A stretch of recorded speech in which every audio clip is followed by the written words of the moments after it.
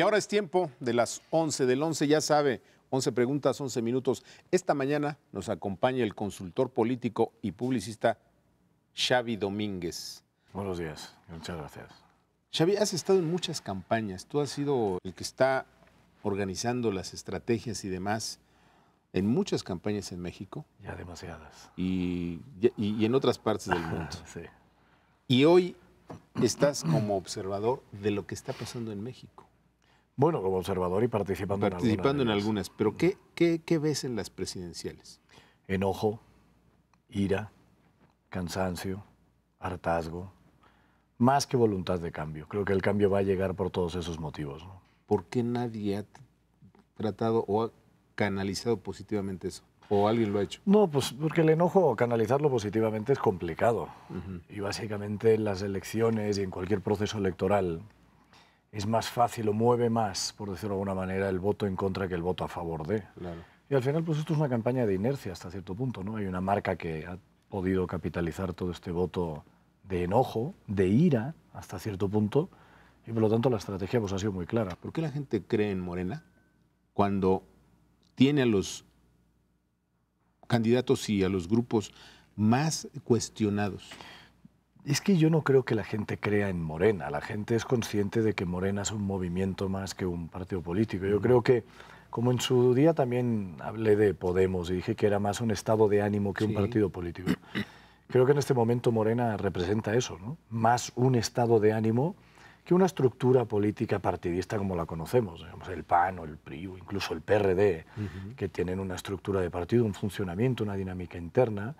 En Morena lo que hay es, pues esto, ¿no? un movimiento que garantiza, como dicen los americanos, el make sure election, que es que garantizan la derrota de alguien. Y esta elección no busca tanto eh, resarcir con la puesta en marcha de un nuevo presidente, que es el resultado evidente de este proceso, como de asegurarse que se va el PRI. Y en esto es, lo que estamos. Ese es el objetivo. ¿Y qué está pasando con el PRI, con la candidatura de José Antonio Meade, el mejor calificado? Todo mundo, yo conozco a muchos morenistas que incluso dicen, la verdad es que es el que tiene las mejores, eh, digamos, eh, la mejor carta de, servicios, pero el peso del PRI la marca del PRI, pues es evidente. ¿no? Yo siempre he dicho que si Mit se hubiera presentado por el PAN, hoy muy probablemente el PAN estaría arriba en las encuestas. Este, evidentemente trae un peso muy negativo que es no tanto la marca del PRI, porque en algunos lugares el PRI resiste, cierto que en las gobernaturas no y en la presidencia no, como la herencia de un gobierno, ¿no? que, que sí le está pasando factura y del que no se puede deslindar porque él ha sido parte. En un momento de hartazgo en el que se suma el PRIAN de alguna manera, y en el que se suman todos los errores del PAN y todos los errores del PRI, él ha formado parte de los dos gobiernos. Por lo tanto, es la viva imagen de todo aquello que la gente está rechazando. Más allá de todo esto, hombre, yo creo que la estrategia no ha sido la mejor. Yo creo que intentar tapar el sol con el dedo pues no era una solución cuando decían que tenían un candidato independiente yendo por el PRI. Yo creo que mucho priista se sintió incluso ofendido por no tener derecho a participar en este proceso. Nacieron divididos intentaron hacer ver eh, o esconder el logotipo del PRI, hasta el momento lo están haciendo, ¿no? Y al final la gente que milita en el PRI o que vota PRI es una gente muy orgullosa de esa marca, independientemente de todos los problemas que han tenido y evidentemente algunos que ellos solos han buscado, ¿no? Entonces, ocultarse detrás de una falsa figura independiente pues no, no ha ayudado, ¿no?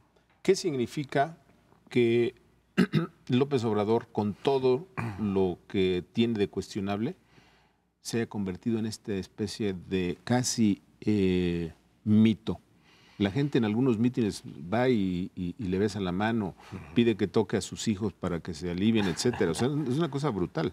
Sí, pero yo te insisto, yo creo que esto es fruto del, hartazgo del país, no, no, no, no, es un tema de un don natural de Andrés Manuel. Andrés Manuel no es que necesitamos una especie de, deidad eh, sexenal para eh, pues tratar de calmar nuestras, eh, nuestros problemas? No, no lo creo, sinceramente. No, no, no creo que vaya por ahí. Yo de verdad insisto en un concepto. Yo creo que Andrés Manuel es el que garantiza que el PRI pierda. ¿Qué hay con este asunto de, de los indecisos y del voto oculto? ¿Es un mito? ¿Es realidad? ¿Se va a expresar? ¿No va a aparecer? ¿O es una tontería? Existe, evidentemente que existe, pero no creo que vaya a mover prácticamente nada en, este modelo. Las, encuestas hay que leerlas de la siguiente manera, marcan tendencia. Yo que siempre me dijo Sergio Bendixen, quien fuera este consultor latino o encuestador latino de Barack Obama, él me decía, eh, tendencia mata puntaje. Y la tendencia es muy clara, la tendencia es de Andrés Manuel a seguir subiendo. También empieza a haber una tendencia en este último periodo de recuperación de MIT y de caída de, de, Anaya. que eso sí puede cambiar el orden como está establecido hoy y podría darse que MIT fuera segundo, en el resultado final, eso sí es cierto. Entonces, en tu opinión, la elección ya está cantada. Yo creo que este arroz ya se coció y hay que ver si no se cuece el país con este arroz. Eh, ¿Puede ser eh, negativo en qué sentido? Tú has conocido, eh, viste de cerca este fenómeno en España de Podemos, conoces muy bien lo que está pasando en Venezuela. ¿México corre el riesgo de ir para allá? No, yo creo que México es un país más serio y más fuerte que todo esto, sin duda. No creo que corra esos riesgos, pero sí es cierto que el México que nosotros conocemos no va a existir eh, con un gobierno de Andrés Manuel. A mí me preocupa, por ejemplo, eso. me preocupa, sí, me preocupa, por ejemplo, los discursos de exceso de austeridad que ya se están marcando. Cuando sabemos que en toda Europa y en Estados Unidos fue un fracaso la austeridad económica y, el, y, el, freno de la inversión pública, que no ha llevado a nada. Es más, por ejemplo, ayer se daba la noticia en Portugal de que cuando ha gobernado el centro izquierda ha tenido que romper con las políticas de austeridad para que el país se vuelva a levantar. Para sobrevivir, claro. Entonces yo creo que ahí sí va a haber un frenón económico uno, propiciado por el miedo, dos, por la incertidumbre, y tres, porque de todo lo que oigo, lo que más ruido me hace es la política de austeridad excesiva. Nosotros en el mercado electoral lo estamos viendo, ¿no? En eh, cómo se está castigando un mercado profesional, que habrá gente que dirá que porque nos pagan y que nos ganábamos muy bien la vida. Bueno, y si somos españoles que vendemos espejitos, además. este, pero sí, sí, la austeridad ha empezado y el miedo ha empezado. Es cierto que condicionado con un interés electoral y hay que ser justos. Hay empresas que lo están haciendo con una voluntad electoral. Hay otras empresas que no, que lo están haciendo porque realmente tienen miedo. Pero sí hay una política de freno económico y de austeridad clara y de dejar de invertir en lo público. Y eso sí es un riesgo. Se da todo esto eh, como resultado de un fenómeno político y los que pagan, como siempre, como siempre, son los ciudadanos eh, que menos eh, posibilidades tienen. ¿Qué les va a pasar? ¿Van a reaccionar? Como, como, con culpa, como ocurrió en el Brexit y otras? Mm, bueno, eso es después del 2 de julio y eso ya es hacer política de ciencia ficción y futuro. No creo que haya una reacción antes, entre otras cosas porque el voto permanentemente es emocional. Sí, claro. Y por lo tanto en este momento lo que prima es la ira, la rabia, el enojo frente a cualquier argumento que pueda ser racional en cualquiera de las campañas. Por lo tanto la gente no está escuchando. Sí, claro, este tienes toda la razón. ¿Tú qué hubieses hecho si hubieses estado con Mitt? Eh, llevando la campaña de mí. Complicado decirlo, pero lo primero, eh, desmarcarse del, del, gobierno, que era difícil, ser un poquito más agresivo, fundamentalmente te digo, eh, desmarcarse del, del, gobierno del PRI, que era muy difícil, pero tenía que haberlo hecho desde el primer momento. ¿Tú conociste a Enrique Peña Nieto? sí. ¿Tú lo conoces hoy? No. Haciendo esta, esta, o sea, a mí siempre me ha parecido, yo siempre lo he dicho, que me ha parecido el principal operador de este país. Me parece, en contra de los chistes y de los memes y de todo, a mí me parece una persona muy inteligente, seguramente me criticarán por esto. Yo estoy, yo estoy, de acuerdo y por eso me han puesto y que ha sido, golpizas.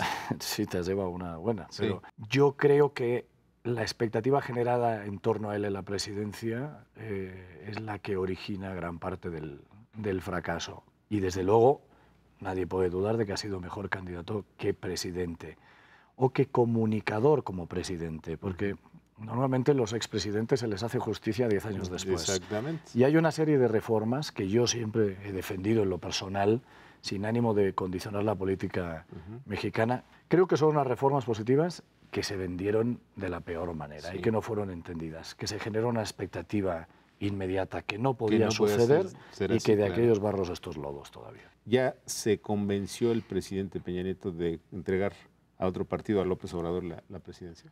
Bueno, yo creo que más que convencido hay una actitud de, vamos a llamarlo, de respeto a la voluntad futura democrática. ¿no?